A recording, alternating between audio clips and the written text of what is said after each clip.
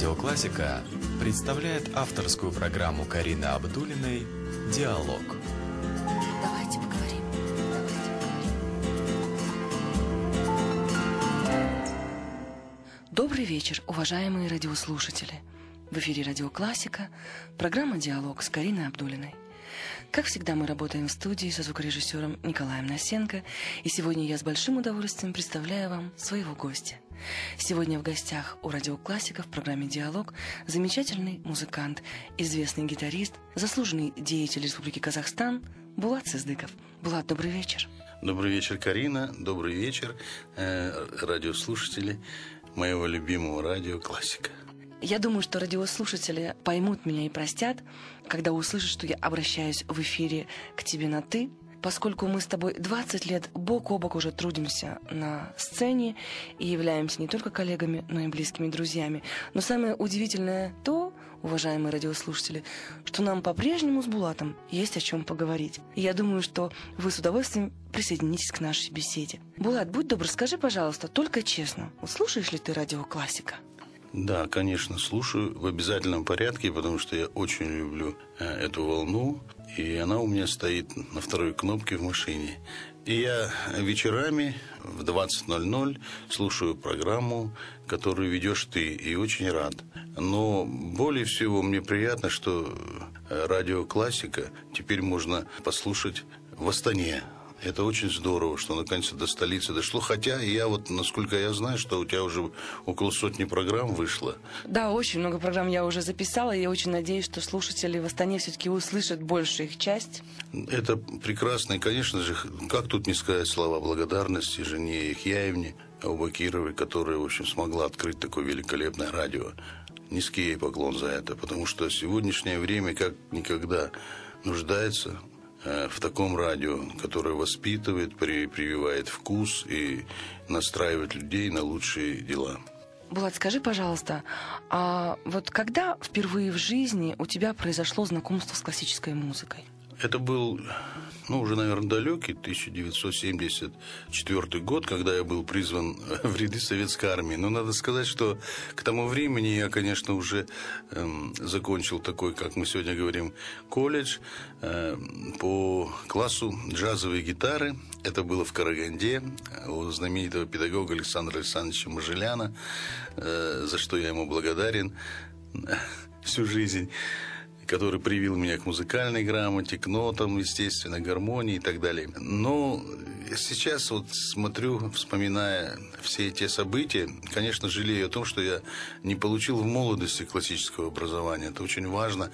Это пришло вот э, в последние годы, когда я уже слушал много классической музыки, а получилось это так. Э, ну, все те, кто служил в армии, наверное, знают, что там есть такой солдатик, дневальный называется, стоит возле тумбочки. Вот я стоял, дежурил и учился играть на флейте. Кстати, в армии я научился играть на флейте. В оркестре уже играл второй год э, партию флейты в духовом оркестре. Потрясающе. Да. Ну, ноты-то я все знал, это гармонию и так далее. Но, но и как-то вот наш дирижер привез новую музыку. Он закончил, я помню, в Москве, в Химках есть там такой факультет военных дирижеров. И зазвучала симфония Василия Сергеевича Калинникова. Это божественной красоты музыка. Да, ты знаешь, дело в том, что вот и сколько лет я после вот армии, э, как-то вот общаясь с музыкантами, э, и, кстати, классическими, как-то вот или она в программе не стояла, или как-то вот ее мало слушали, эту музыку. Он, он россиянин, э, композитор, где-то там Пермь или какой-то город, я уж не помню оттуда. По-моему, да, он был родом из Перми, был современником э, Сергея Васильевича Рахманинова. Абсолютно верно, да. Он очень мало прожил, он написал очень много красивой музыки, в том числе вот эту твою любимую симфонию. Да, и я услышал эту симфонию, значит, я прибежал, я так был взволнован. Я прибежал, я помню, к дирижеру Александру Яковлевичу, у нас был Кравцов, капитан. Я говорю, что за музыка, можно? Да, это классическая музыка, говорит это не ваша, говорит, эстрада там. Ну, а военные люди же знаете, какие они такие, все чеканят, четко, все конкретно. Я говорю, не, ну это такая красота. И вот я услышал, когда основная тема... Да.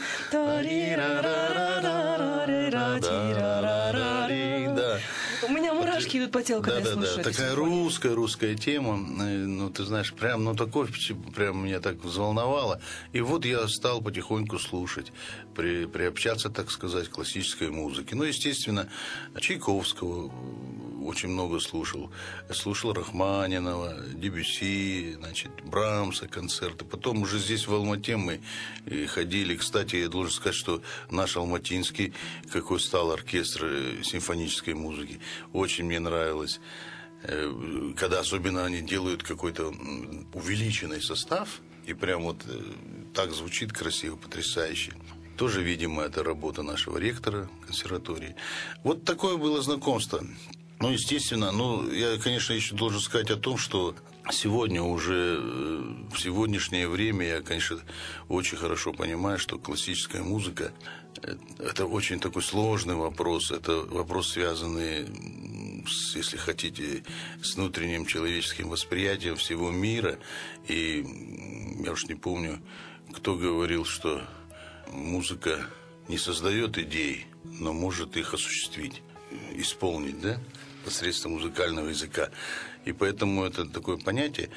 Я хочу здесь сказать, что вот вы знаете, все годы э, я занимался джазовой музыкой, как известно, и, и очень много изучил ее, проанализировал, начиная там э, с клавишной музыки, там Оскара Питерсона, э, значит, с саксофонной музыкой э, великих э, Чарли Паркера или Дюка Эллингтона, э, значит, и много-много еще других звезд.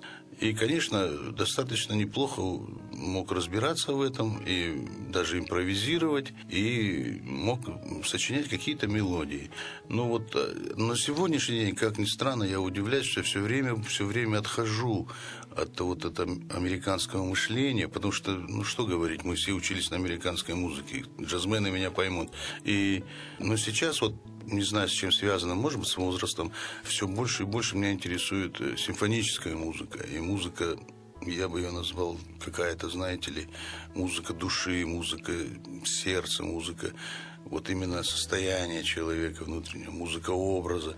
И это все интересно. Но единственное, что хотел бы здесь бы добавить, что не в том классическом варианте, не в, не в тех аранжировках, не в тех инструментовках, которые были для того времени, именно для 18, 17 и там, 19 веков, а сегодняшнего времени. Ну, к примеру, чтобы это объяснить, я бы при, привел такой пример, как на классической основе была сделана оригинальная музыка, и многие современные композиторы, в том числе в Европе и в Америке, пишут сегодня такую потрясающую музыку. Вот я на примере, например, музыки для кино много очень красивой музыки записано, и никто ее практически не слышал. Ну, не то, что никто, мало количество народу. Хотелось бы больше, чтобы ее пропагандировали, такую музыку. Ну, к примеру, есть фильм, может быть, ты видела, «Английский пациент». Там э, на протяжении всего фильма звучит, значит, рефреном мелодия, и, э, значит, в конце на титрах мы слышим прекрасную музыку, я считаю, ну, вот то, что именно меня волнует. Значит, музыка современного ливанского композитора, Абсолютно. к сожалению, я не помню, да, как его зовут. Я тоже не помню. Габриэль, э, фамилию сейчас не вспомню, но музыка очень красивая, я очень с тобой красивая. согласна. И вот я говорю, почему я это привел пример, что я говорю, как можно классическую музыку в новых формах преподносить прекрасно, немножечко ритмическую структуру подвинуть, гармонию немножечко усложнить, но все равно базироваться на... Это сложно, конечно, это музыканты только понимают, но тем не менее восприятие ошеломляющее и действие на эмоциональный такой человеческий потенциал очень сильно. Поэтому э, она всегда звучит взволнованно, и там есть что-то новое, куда-то нас ведущее, понимаете? Уважаемые радиослушатели, это программа «Диалог с Кариной Абдулиной» на Радио Классика. И сейчас на волнах нашей радиостанции прозвучит оригинальная фантазия на тему аранхуэсского концерта Хуакина Родриго в исполнении гостя моей сегодняшней программы замечательного гитариста Булата Сыздыкова.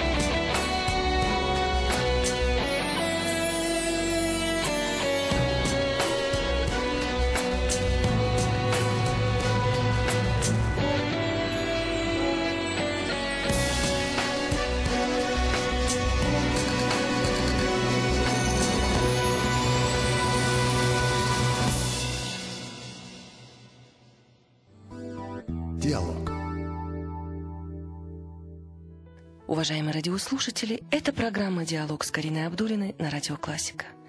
И сейчас на волнах нашей радиостанции прозвучала оригинальная фантазия на тему аранхуэсского концерта испанского композитора Хуакина Родриго в исполнении гостя моей сегодняшней программы, замечательного известного музыканта, гитариста, заслуженного деятеля Республики Казахстан Булата Сыздыкова. Булат, скажи, пожалуйста, как тебе пришла в голову идея обратиться к музыке Хуакина Родриго? Э, да, это хороший вопрос. Как-то однажды, я помню, я услышал э, среди произведений э, одного из моих любимых гитаристов, который стоит у меня на первом месте, это Пака де Лусия который играет и классическую музыку, но больше он, конечно, синтезированная музыка, то есть музыка, смешанная с классической, с народной музыкой, так называемая фламенко. Ну, наверное, все радиослушатели знают это имя, потому что это человек, у которого концерты расписаны на 2-3 года вперед. И мне повезло в жизни, им, кстати, мы с тобой. Мы с тобой были на его концерте в Швейцарии. Да, да, мы были с тобой на его концерте на одном.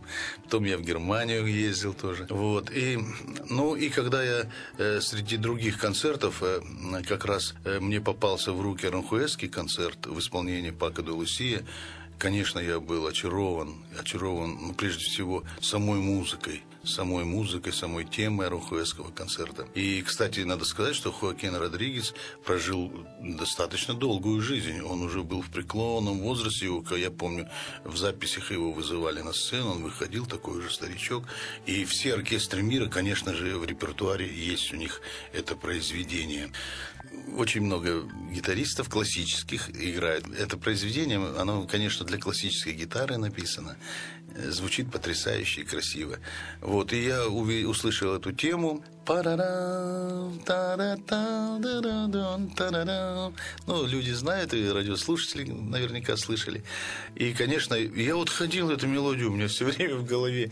И где-то еще на курорте или где-нибудь за границей услышу эту мелодию. Меня все время э, преследовала мысль о том, что нужно э, это сыграть и как бы окунуться в очаровательные звуки, э, в эти мелодии. Но и здесь же еще мы понимаем, что это такая и с испанским оттенком музыка, знаете, очень красивая и близка на сегодняшний день мне, потому что я очень люблю испанскую, латиноамериканскую музыку. Вот ты написал свою оригинальную да. фантазию на тему этого концерта, и, на мой взгляд, она получилась очень удачная, очень красивая, и все-таки в таком достаточно академичном музыкальном стиле. Да, то есть э, она, она была сделана, на мой взгляд, достаточно несложно для того, чтобы, ну, если можно так сказать, вот простой обыватель, нормальный человек, как в нашем понятии музыкальном, мог послушать, и чтобы это было ему более-менее понятно. Я думаю, что э, слишком не загружать с точки зрения э, музыкальных трудностей. Там, и, и поэтому мне казалось, что нужно показать хорошо мелодию основную, но сыграть импровизацию тоже на, на эту тему, но не совсем уж усложнять, чтобы народу было приятно на слух. Это, она сама по себе мелодия очень приятная на слух и запоминающаяся. Я хочу тебе сказать, что тебе это очень хорошо удалось. Но мне, знаешь, возникает такой вопрос. А, Все-таки гитара — это не такой распространенный инструмент а среди музыкантов, как то же самое фортепиано да, или скрипка. Вот скажи, пожалуйста, когда ты начал играть на гитаре? В каком возрасте?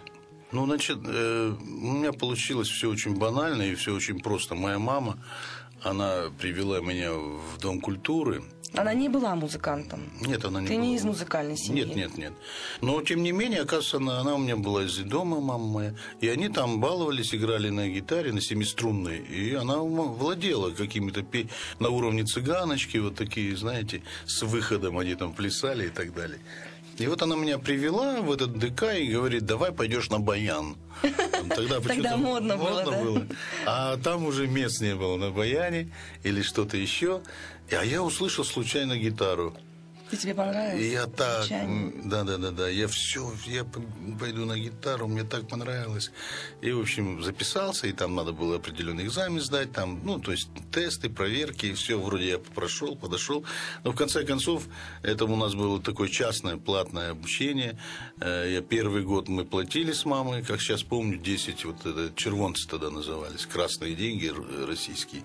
А второй год я уже учился бесплатно, потому что я стал лучшим учеником, и педагог просто просто сказал, что тебе не надо, с тебя не надо брать денег. Значит, а... это все-таки судьба была. Ну, может быть, не знаю. И, и вот он сказал, что я тебе лучше дам направление в Ленинградскую консерваторию, потому что тебе нужно учиться по гитаре, говорит, продолжать. Э, конечно, я вот жалею, что я не усвоил два направления, и классическое, и джазовое. Я больше, конечно, был увлечен джазовой гитарой, но тогда это было что-то вообще новое, и, да, а классическую вот гитару не освоил как положено. Ну, ты говорил, что просто мама побоялась одного мальчишку отпускать да. в Санкт-Петербург, в это Ленинград правда. тогда, да, да, и да. ты остался в Караганде, в твоем да, родном да, совершенно городе. Верно. Но зато сейчас ты являешься самым знаменитым карагандинским музыкантом. Это я могу тебе с уверенностью сто процентов сказать. Скажи, пожалуйста, Булат, а правда ли то, что ты был круглым отличником, пока не взял в руки гитару. Ой, это, это правда. Я вот семь лет э, был круглым отличником. Моя мама все эти пока была жива, берегла эти табеля. Раньше были табеля в школе. Грамоты, я Грамоты, помню. все у меня есть. И там одни пятерки, там молодец. В общем, более того, я скажу, что педагоги мне предрекали, ну, по меньшей мере, математиком быть или там э, что-то связано с техническими профессиями. Ну, хотя я и русский литературу неплохо знал. Вот, и решал контрольно, я помню, по геометрии за 15 минут, по физике. И меня отпускали прямо из класса, я уходил, отдыхал там что-то. Ну, ты сейчас в математике Да. понимаешь намного больше, чем я. Ну да, у тебя-то ж совсем гуманитарный склад ума. Ну, и как же получилось так, что ты стал Да. троечником? И вот, э, представляешь, вот как я познакомился с этой гитарой и стал заниматься, я абсолютно забросил учебу. И я, знаешь, вот на той базе, что еще чуть имел, я первый год так передвигался, передвигался, э, ну, так сказать, на тех знаниях, которые были, и начал так деградировать, опускаться. И опустился, да, в общем, пошли четверки, а потом тройки, все. Но к десятому классу я стал круглым двоечником. Честно признался, Да. ты не скрываешь этого. Да. Но зато к десятому классу ты уже владел прекрасной гитарой. Да, и более того, директор школы сказал, он мне, во-первых, дал никнейм, джазмен, ну, кличку. Так, и единственную парню это мне разрешалось носить волосы. Я почти, у меня волос был почти до пояса. Вот ниже, вот по грудь. В то, В то советское время, в время. советское время. Он говорил, ему одному может такие Пал Палыч у нас был. Ну, ты, наверное, организовывал взамен Да, да, культурные да, да, да. вечера, Вот, с- танцы. вот за счет этого я выбрался, получил этот аттестат, потому что, ну, я же говорю, что я уже совсем плохо стал заниматься, но быстро-быстро приобретал навыки игры на гитаре. И я уже, конечно, в девятом, к девятому, десятому классу мы уже играли свободно на танцах, играли музыку Битлз, Роллинг Стоунс, там, не знаю, и много-много других групп. И, естественно, все школьные вечера обслуживал я. У меня уже был составчик, девочки пели, ребята играли. И вот мы... И это, конечно, нравилось руководству школы, что всегда у нас выпускной вечер, не надо никого платить, никого не... Есть свой джазмен. При этом ты все равно стал музыкантом, и, видимо, это было неспроста, это была твоя судьба, и я знаю, что ты являешься не только исполнителем, но и автором произведений, которые ты исполняешь. И сейчас я предлагаю нашим радиослушателям послушать одно твое оригинальное произведение. Это будет гитарная импровизация под названием «Акустические мысли». Исполняет гитарист Булат Сыздыков.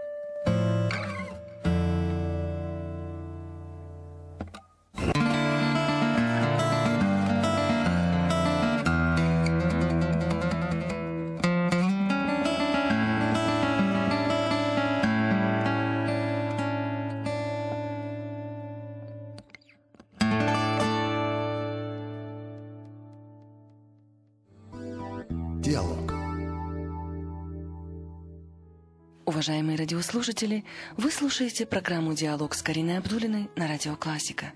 И сейчас на волнах нашей радиостанции прозвучала гитарная импровизация Булата Сыздыкова «Акустические мысли» в исполнении автора. А Булат Сыздыков сейчас находится здесь у нас в студии Радио Классика. Булат, скажи, пожалуйста, как давно ты сочиняешь музыку?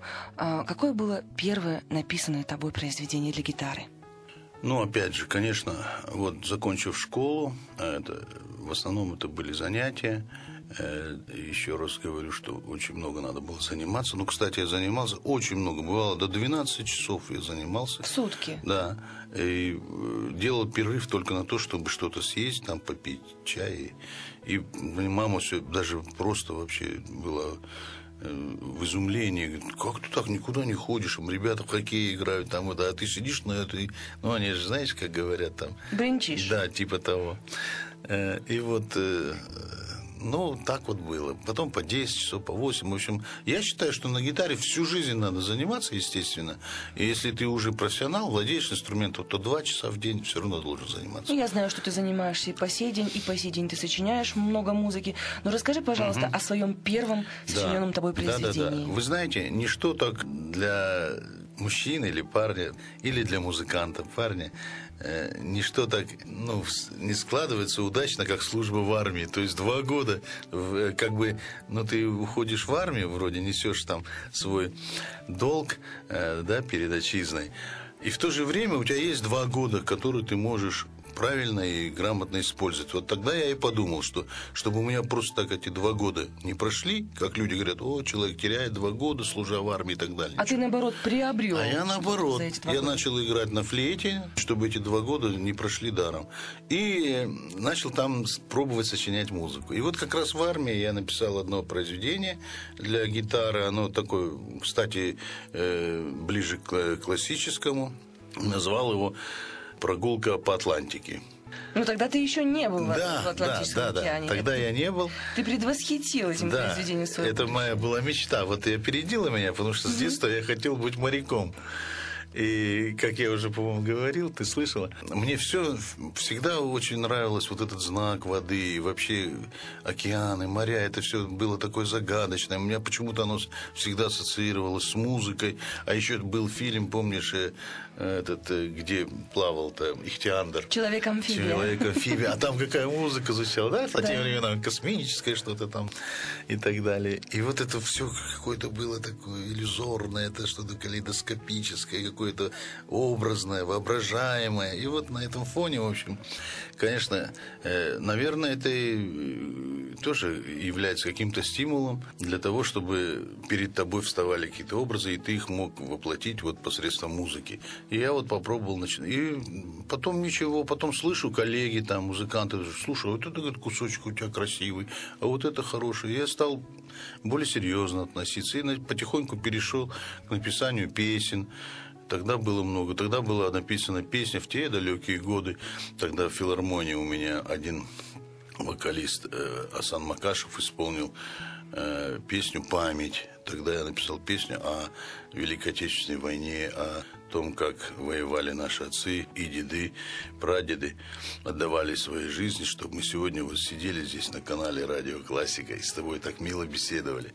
Э, ну, это, может быть, звучит как, но для меня это важный момент. Поэтому ну, вот такая тема была, значит, военная тема. Почему военная тема приходит? Ну, ты должна меня понять, потому что я служил в армии, а там люди-то все военные, и разговоры, и э, как ни крути, все равно ты будешь говорить о тех нормальных человеческих вещах, о том, что происходит с Родиной, что это непростое дело, да, или, как говорится, родину защищать. Ну, давай поясним далее. нашим радиослушателям, что ты служил в оркестре штаба дивизии. Среднеазиатского краснознаменного военного, округа. да. Абсолютно верно, молодец. Но я знаю, что до того, как ты пошел в армию, ты уже был принят в филармонию солистом в Караганде. Угу. У тебя очень большой стаж сценический. Да. А что произошло после армии? Вот, да, до армии я э, как раз-таки год проработал в филармонии нашей в Карагандинской, где меня, как сейчас помню, проверяли и принимали с песней Муслима Магомаева «Благодарю тебя». Ну, на, на, напой один кусочек. «Благодарю тебя, за песенность города и так далее. Да, да, Аж, да, у да. тебя приятный За голос. смех и за печаль, за тихое прощай. Ну, это надо громко петь. Вот, и... И, в общем, я был принят, да, э, год проработал в филармонии, и вот как раз в это время приехали на гастроли ансамбль «Гульдер» В Алматинский. Караганду, в твой родной Караганду, город. да. Ну и кто-то им там что-то поведал по поводу меня, что там в Караганде есть какой-то гитарист, неплохой мальчишка подает надежды. Но они решили пригласить меня. Я пришел на встречу, э, и вот они, о, все, мы тебя берем, мол. Я говорю, ну я же в армии, все там это туда-сюда. Э, Они говорят, ну ничего, отслужишь и к нам. И вот действительно уже заканчивал службу, они опять приезжали, мы встречались. Но тогда я же работал в филармонии, и наш коллектив назывался «Время и песни». Меня за 100 дней до приказа первого из дивизии демобилизовали, и на второй день, на следующий день, я уже улетел в Москву на гастроли с ансамблем «Время и песни». Мы проехали где-то, наверное, концертов на 100 мы уехали. Потрясающе. Да. А потом ты стал работать в Гульдере. А потом вот я приехал, и они все-таки нашли меня, все, и пригласили. Тогда как раз пришла в том в 76 году туда работать наша знаменитая Роза Куанышина Рымбаева. Ну, для тебя, по-моему, просто розочка. Да, Розочка, с которой, кстати, мы тоже очень тесно сотрудничали, написали много песен, она исполняла много моих песен. И много лет ты проработал в составе ее аккомпанирующего ансамбля Да-да. «Арай». Абсолютно верно. Да, и вот так вот и началось. Так, так я перебрался в Алмату. Ну, естественно, прошел все то, что положено, общежитие там э, и так далее. Э, ну, а как без этого? Это вот жизнь музыканта. Все музыканты знают, как, когда ты перемещаешься из города в город и так далее. Мы уже привыкли к этому. Ну, это, наверное, э, путь любого музыканта состоит из трудностей, в том числе, давай еще расскажем нашим радиослушателям то, что ты проработал в Москве много лет, э, в оркестре замечательного композитора Максима Дунаевского. Да-да. Это тоже большой опыт. Да, и ты был сессионным музыкантом практически у всех э, российских звезд. И потом, в конце концов, судьба распорядилась так, что ты встретил на своем пути меня. Абсолютно И вот мы с тобой уже 20 лет вместе. А, Я человек с академическим классическим образованием, ты человек с джазовым образованием. Это очень Но тем не хорошо. менее я знаю, что ты очень любишь и ценишь классическую музыку. И я хочу сейчас, Булат, нашим радиослушателям представить одну твою оригинальную композицию, которую ты сочинил несколько лет назад. И нескромно, уважаемые радиослушатели, так замечу, что это произведение Булат посвятил мне. Можешь немножко подробнее о нем рассказать? Да, это как раз вот... э, Ты знаешь, как она пришла в голову, Нет, это произведение? Вот Вот что тебя вдохновляет на написание твоей музыки? Неужели я спустя 20 лет все еще тебя вдохновляю? Но это было не, не, не спустя 20 лет, несколько чуть раньше, хотя не так давно, но дело в том, что мы с тобой действительно работаем э, уже 20, а то и 21, с, не- с немногим больше лет, и знакомы больше, и общаемся. Ну, я тебе должен сказать, конечно, что я, я очень ценю твои, вообще твое мироощущение с точки зрения музыки, вообще твой талант, безусловно, еще к тому же ты не только потрясающий музыкант, но еще и человек, который может собрать воедино свои мысли и написать какие-то тексты Спасибо. или стихи. Спасибо это большое. потрясающе, это очень это талантливые люди. И об этом надо говорить. Это прекрасно, надо об этом понимать. И я просто э, радуюсь за тебя, что тебе Боженька вот так поцеловал и дал тебе возможность, чтобы ты могла с этим поделиться с людьми. Это прекрасно.